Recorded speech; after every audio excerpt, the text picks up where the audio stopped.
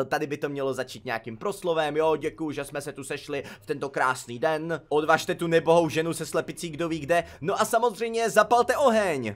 Takže já zdar lidi, já jsem Extron, vítám vás u dalšího videa, opět tak vidíte na Mineru a zrovna nám tady přestalo pršet, to jsem ani nevěděl, že to takhle vychytáme. No ještě, aby to tady dneska nebylo kouzelný, když tady máme pálení čarodějnic, dámy a pánové, tady na Mineru budeme slavit čarodějnice, ale ještě předtím, než vám řeknu, co jsme tady na to všechno připravili, tak vám chci říct o novinkách, které se domluvili, že tady na serveru budou, aby se ten server oživil a padly jak nápady pod minulou epizodou z vaší strany, tak dokonce i ze strany tvůrců, co tady přímo točí a myslím si, že budete nadšený. Samozřejmě, že nový minihry neovlivňují tolik to, kolik tady hraje tvůrců, ale myslím si, že když vám řeknu to, co mi řekl Tron, takže budete koukat, protože tohle to všechno tady vlevo se má ještě vybombardovat a má se vybombardovat i tenhle ten kopec za tou minihrovou zónou a tohle celý bude sloužit na minihry, který tady budeme stavět. Jako člověk by si skoro řekl, že to ani nemůžeme využít, ale já sám vám řeknu tři minihry, který bych tady chtěl moc postavit a krásně by ten prostor využili. Chtěl bych jednak udělat kolem celý minihrové zóny dráhu na motokáry, prostě ledovou dráhu plnou tunelů, průjezdů skrz hory, pod vodou a tak dále, kde by se závodilo na loďkách, no a samozřejmě ty loďky bychom nějak pěkně přetexturovali, aby z toho byly závodní autíčka. Někde by to třeba vedlo až na bedrock, někde by to zase pro změnu bylo jenom po povrchu, ale každopádně dalo by se kolem celé minihrové zóny udělat docela pěkný závodiště, takže to je jeden můj plán, ale není to pořád všechno. Kromě pozemních závodů by totiž bylo super udělat tady i něco leteckého, takže bychom rozmístili kolem té minihrové zóny a třeba i kolem města nějaký kruhy, kterými by se prolítávalo, no a samozřejmě by potom se to třeba rozsvícelo, dělalo by to zvuky a tak, aby to fungovalo jako checkpointy toho leteckého závodu. No a poslední nápad, to by taky nemuselo být náročné, tak by byl takový TNT run s tím, že by to ale nebylo s TNTčkama, ale místo toho bychom použili takový ty propadávající se listy z laškejvy, no a mohli bychom si tam vlastně zaskákat buď jakoby hexagony z Fall Guys, anebo by každý si mohl zkusit, jak dlouho tam dokáže vydržet a proparkurovat se bez toho, aby spadl až dolů do vody. Případně by se to třeba dalo změnit na lávu, ale to jsou jenom takový jako fantazie moje. Schválně mi napište, co vy na to, případně jakou minihru byste na Mineru postavili vy, a nebo mi poraďte, co bych tam mohl postavit já. Důležitý je říct, že to jsou jenom moje plány a fantazie, ale samozřejmě ostatní tvůrci tady plánují zase další věci, takže určitě se máte na co těšit a nebál bych se, že tady nebude co točit třeba i pro lidi,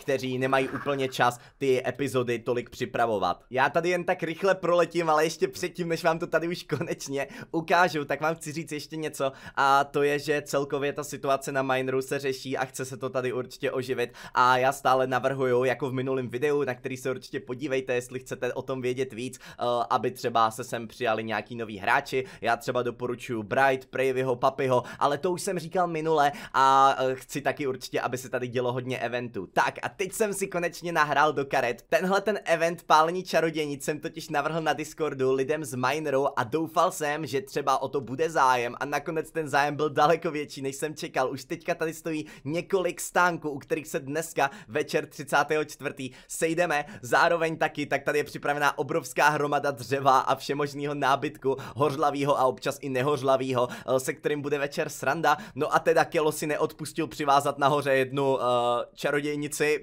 I když já tenhle svátek spíš beru jako příležitost setkat se s kamarády, než upalování uh, žen a slepic a vajíček? No dobře, no tak i vajíček. Já si dokonce myslím, že ty slepice jsou i pojmenovaný, že jedna je Jan a druhá je Hus, ale to už je takový jako Kelův umělecký přesah, jo, to prostě, já bych tohle to nevymyslel, to prostě tady udělal on a udělal to myslím skvěle. Ale co tady dalšího někdo připravil, tak tady dámy a pánové máme stánek z Delfínovicí, takže večer to bude velká party, bude alkohol, bude bitva, já si myslím, že to bude divoký, každopádně uh, koukal jsem, že se tady dá platit i delfíníma hlavama, takže nepůjdeme je sice dneska lovit, ale jo, je to hezký, že tady bereme různý měny. Mimo to, tak tady Pinky připravila nějaký nápoje a teplý jídla a stejně jako mě občas ty epizody stojí život, tak jí tohle to taky stálo život, protože tady připravila pomocí svých hlav nejrůznější občerstvení, vidíme tady třeba burgery, tacos, tyjo, wafle, tohle je asi popcorn, Fantomové si asi taky myslí, že jsme popcorn, protože na nás pořád dorážej. Každopádně já se skočím vyspat a vy se zatím můžete podívat na internetový obchod s hrami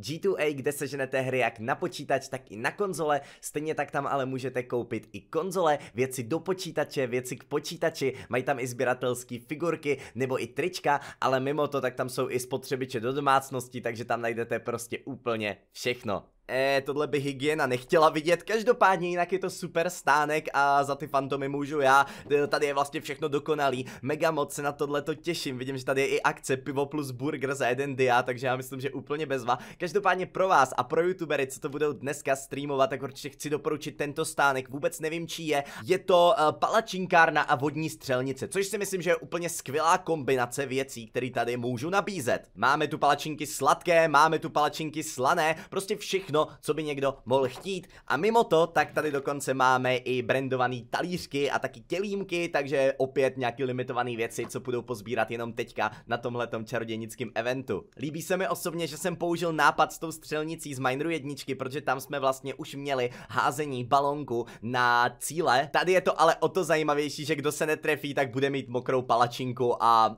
to je určitě adrenalin navíc. Prostě moje palačinková střelnice. Chcete si zaházet na cíl nebo do sebe něco hodit, tak to jste tu zcela správně. Všechny hody i hlody jsou zcela zdarma. Já jsem zvědavý, jak se tenhle ten nápad bude líbit. Když o tom tak přemýšlím, tak bych si možná měl udělat pláštinku nebo deštník, protože já tam budu lítat mezi plotnou zákazníkama. Každopádně, nechám to na večer, jo? Začínáme v 7 večer, uvidíme, kdo to bude vysílat. Já to rozhodně pro vás budu točit a pak to nějak sestříhám na Shorts kanál a taky sem.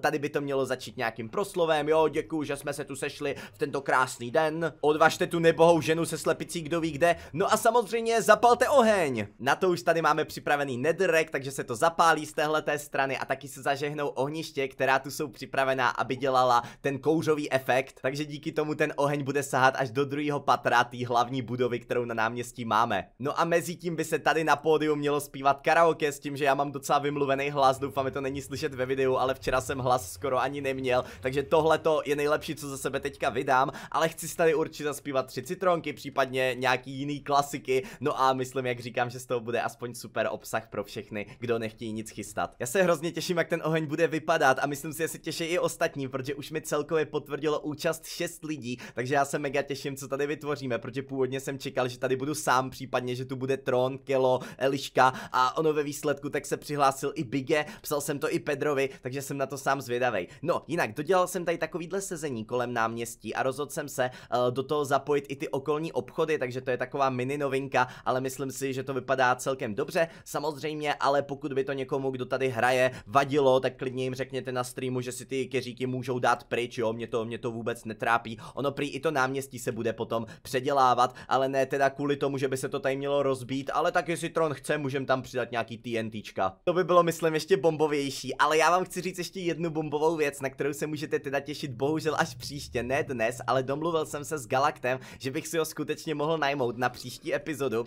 a mohl bych si ho najmout, aby mě zabil. Možná si říkáte, co blázním, ale jestli tady Galactus má možnost najmout si ho jako nájemného vraha, tak nejdříve to musíme přece otestovat na sobě, nemůžeme ho hnedka poslat na někoho jiného. Navíc by to mohla být zajímavá epizoda ve stylu Manhuntu, že mě tady někdo nahání a zdrháme před sebou s raketkama a já nevím co všechno. Takže jo, jak jsem říkal minule, teď už je to potvrzený teda, Galactus s tím souhlasil, takže můžete se těšit i na takovouhle epizodu, takovýhle oživení. Galakté, přijdeš taky na čarodějnice?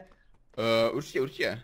A plánuješ něco, třeba nějaký stánek, nebo nakoupíme upinky spolu? Stánek zatím nevím, jestli to stihnu, ale uh, něco bych chtěl ještě vymyslet, jestli, jestli něco napadne zajímavého. No já jsem právě přemýšlel, že by to chtělo něco soutěžního, možná nějaký gamble, víš co, nebo něco, alkohol gamble. už tam máme. Pokud mi něco napadne, tak to, tak to jsem určitě... Třeba nějaký skořápky, víš co, nebo třeba, že by tam byl dropper a mohlo se hrát o diamanty. No, jako já, já tady bych něco chtěl postavit, takže ještě tomu tam musím to, to vymyslet, ale jako nějaký gamble bych chtěl nějak postavil, jakože, tak jako když je jako... Jasný, jasný, gamble musí být na mineru, na tom to stálo i v jedničce, že jo? No a nějakou minihru plánuješ nebo něco, když už tě tady takhle mám? Uh, minihru, hele, jakože musím mít nejdřív ještě tak nějak dovymyslet, mám už některé ty plány, samozřejmě Jump King, jak chci, chci, chci postavit, to je taková... Jasný, jasný, no, tak ono je tady vyšší výškový limit, že jo? Yes, yes, yes, i nížkový, to ne, asi není slovo.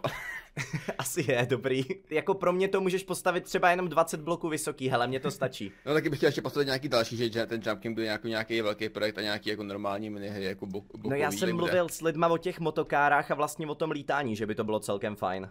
Jo, jo, jo to, to, to, to určitě, to by bylo, to by bylo hodně nice. Tak jo, děkuji, že jsem s tě mohl takhle pučit na video, těším se na tebe večer a zatím čau čau. Ahoj.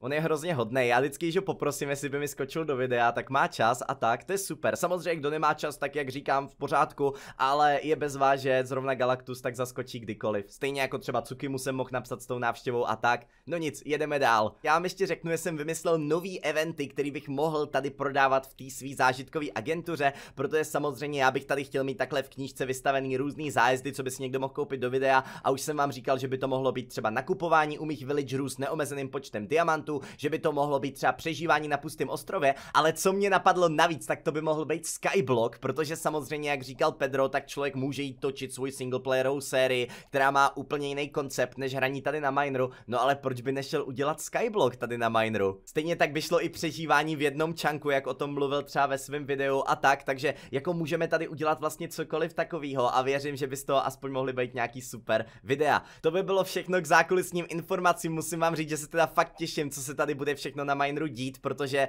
uh, jsem moc rád, že Pedro natočil to video, který natočil, jelikož díky tomu tak se hodně lidí ozvalo, že samozřejmě jim na Mineru záleží a chtějí tady něco vymýšlet. Ale znovu bych tady chtěl zopakovat to, co v minulý epizodě je úplně v pořádku, když někoho něco nebaví a nechce se tomu teda věnovat, protože každý máme omezený čas a samozřejmě jestli máme možnost být třeba s rodinou nebo s mazlíčky uh, a nebo hrát hru, která nás prostě třeba nebaví zrovna takhle, no tak je jasný, co si vybereme. A i když by bylo samozřejmě hezký točit pro svoji komunitu, tak nesmí se to dělat za každou cenu, pokud to člověka prostě nebaví, protože vy byste to stejně poznali a lepší je odpočnout si a potom z toho dát novou sérii. Mám tady ještě jednu věc a ta se taky vlastně týká Pedra. Jak víte, tak on natočil i video, dám vám tady na něj odkaz o tom, že na něj někdo nějak špatně reagoval a samozřejmě jsem to nebyl já, já jsem i Pedrovi jako psal, že doufám, že jako to video moje nepochopil nějak špatně, že já jsem ho naopak obajoval, že je v pohodě nemít čas prostě a chtít se věnovat něčemu jinému a že my naopak musíme zapracovat na tom, aby to tady bylo zajímavý. No a i když vám nemůžu říct, o kom to video bylo, tak o mě to nebylo, tak jenom ať víte, my mezi sebou s Pedrem žádný beef nemáme, já ho mám hrozně rád, jsem jeho fanoušek a určitě bych takovýhle věci o něm neřekl, jako on to probíral ve videu, protože hej, já chápu, když někdo nemá čas. Vím, že to je spíš o tom udělat si čas, než ho prostě mít,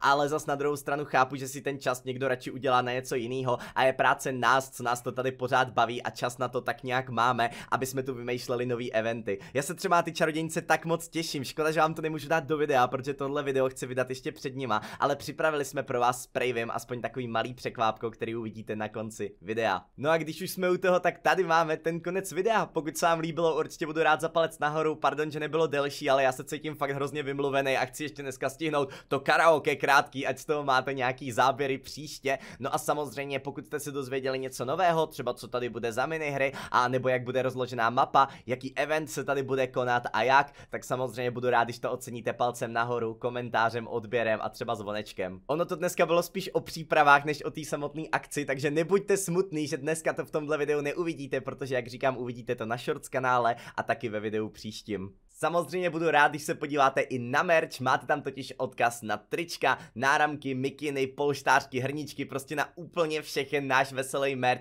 který máme a který by vám mohl každý den dělat radost. Na závěr už snad jenom řeknu, ať si užijete dnešek, ať jste doma nebo někam jdete, ať je 34. nebo už je úplně jiné datum, prostě mějte fajn zbytek dne a jestli je 34. tak nikde si nerozdělávejte oheň bez dozoru, jo? Prosím vás, ne, že si budete dělat vlastní čarodějnice, to už je radši udělejte taky v Minecraftu.